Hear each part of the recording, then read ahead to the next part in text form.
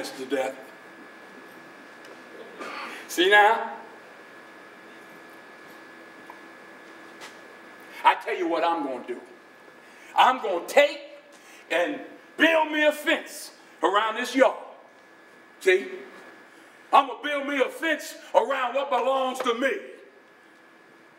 And then I want you to stay on the other side. You stay over there till you're ready for me. And you, and you come on. Bring your army. Bring your sickle. Bring your wrestling clothes. I ain't going to fall down on my vigilance this time. You ain't going to sneak up on me no more.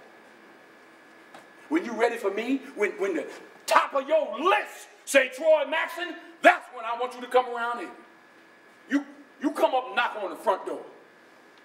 Ain't nobody else got nothing to do with this. This between you and me, man to man.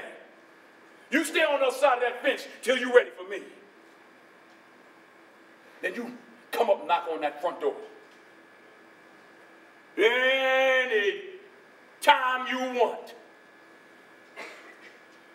I'll be ready for you.